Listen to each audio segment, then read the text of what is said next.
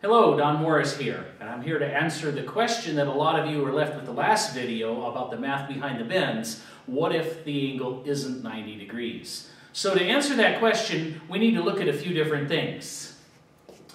If the angle is not 90 degrees, our mold point dimensions are altered and they're not just straight from one side to the other. Let's begin with this case. Up here, I've got a piece that's been bent approximately 135 degrees. Notice that we have our bend tangent lines where the bend meets the straight of the flat. And if we extend those bend tangent lines, we'll find the theoretical bend, uh, center point of the bend. Now, it's very tempting for us to look at this and say we bent this about 45 degrees. That's what this angle is about over here. But that is not the true bend that we've made. In this case, we bend it approximately 135 degrees, this angle. And that's because we started straight, we bent it through 90, and then we bent it to 135 degrees. If you take a look down here, this one's been bent, oh, it looks like about 30 degrees. And you can see down here that our mold point dimension is very, very small. Here's our setback, just about here, with our bend tangent line and our mold point dimension. This is a very small setback, and this one is a very, very large setback. Now, this is kind of important because we want to be able to figure out how to modify this setback when we come over here. So I'm going to do some drawing up on the board. Let's say that this is the bending brake or the radius caul that I'm going to bend my piece of sheet metal over and I'm going to work my way across here. We're going to start by drawing in our piece of sheet metal. I've got it a little bit larger than we had over at the other side and once we develop this for one angle it should apply to every angle if we're careful how we develop it. So here once again is our piece of sheet metal and this is our BTL that is directly underneath the radius caul. Across here, we're going to go ahead and extend these lines straight, and as we extend these lines straight, where they meet would be the mold point dimension. Mold point. Okay, our mold point dimension sits back over here, and our bend angle, our second bend tangent line, happens right across here. Now I'm going to delete a few of these lines, erase a few of these lines to make this a little less cluttery, and you can kind of see a little more about what's going on.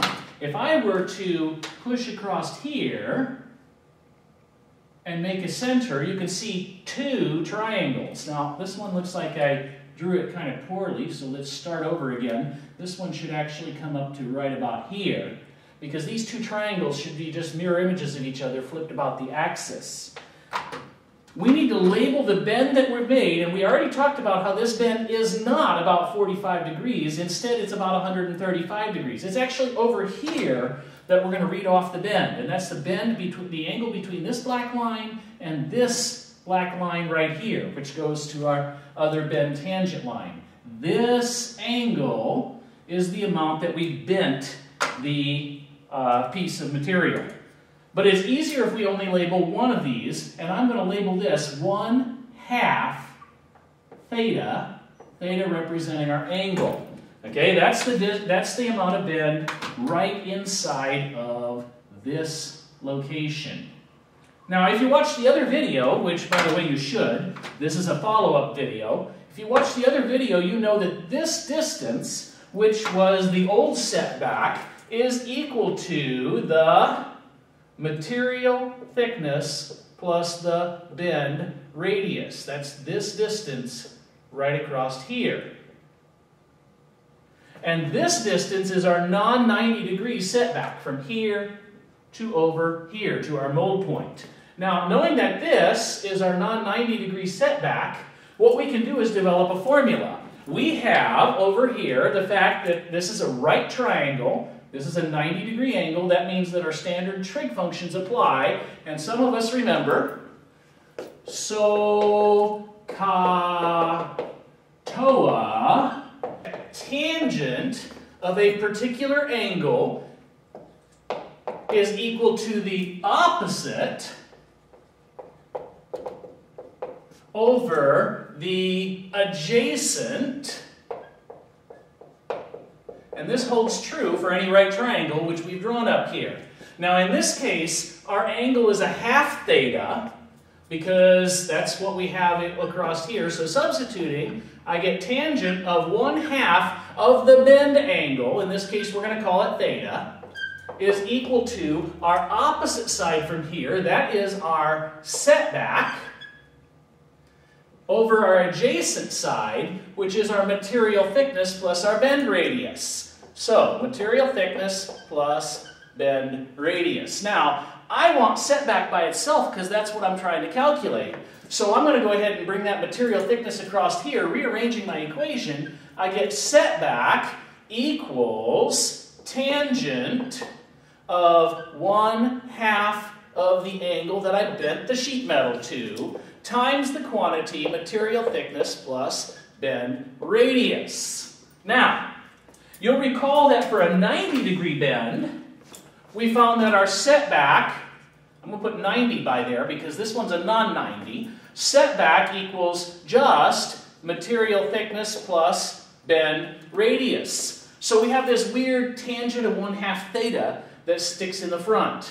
Now, because traditionally mechanics haven't been very good at math necessarily, that's not their forte, the FAA has replaced this quantity, tangent of 1 half theta, with something that they call k. So we're going to come across here, k equals tangent of 1 half of the angle that we're bending at.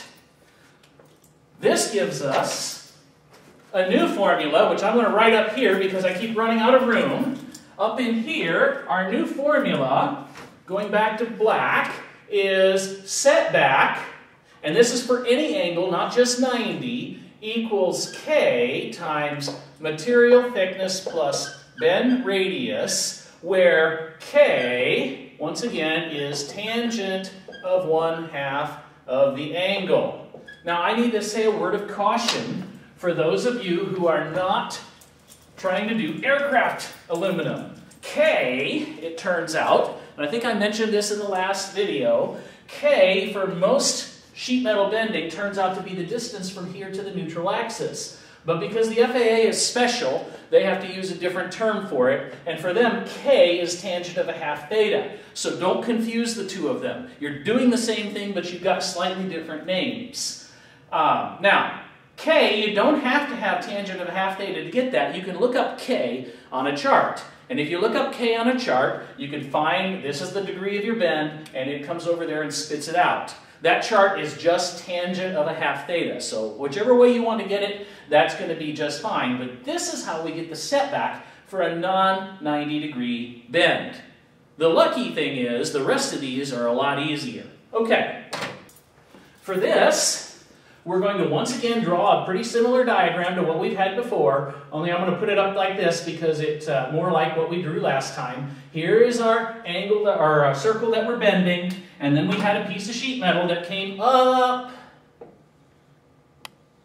and it bent partially around the circle. Last time we bent 90 degrees around the circle. This time we're going to bend 45 degrees around the circle, but this could be any amount. There we are. Don't forget that we had a neutral axis in the middle of the sheet metal, and the distance to that, to the neutral axis, you remember, was equal to 1 half of the material thickness plus the bend radius. And so we found that the distance to go all the way around this circle was 2 pi times a half the material thickness plus the bend radius. And that goes all the way around the circle. Last time we just divided that by 4, and when we divided that by 4, it gave us a 90 degree bend. This time we're going to be a little smarter than that, and we're going to divide that by 360, and that's going to give us the distance that we sweep out per degree of bend. So all we're going to have to do to the end of this is then put times the number of degrees. And this formula is going to give us the answer to what is our bend allowance for a non-90 degree angle. Now, Once again, we're going to simplify this. We're going to not use one half the material thickness. We're going to use the actual amount. So when you spit the numbers out, it's not going to come out quite this way. But our formula is going to be equal to bend allowance equals 0.0078 times our material thickness plus 0.0143 times our bend radius, close parentheses, times the number of degrees. And that formula we're going to come back and put over here because it's the other thing we need to know. Bend allowance equals parentheses point zero zero seven eight material thickness plus point zero one four three bend radius times degrees. Notice that these are pretty small numbers, and that's because it doesn't take very much to sweep around each one of these degrees. Now there's one more thing we know how to we need to know how to calculate before we can begin developing our flats. And that one additional thing we need to calculate is what is the sight line? Remember the sight line is how far away we're going to be able to see this thing, and it is still the same, whether it is not whether it's a 90 degree bend or not a 90 degree bend, our sight line will still be equal to 1 times the bend radius away from one of our BTLs. So that gives us all the formulas that we need to calculate this for non-90 degree bends. We're going to clip this video and you can watch the other videos to see some examples.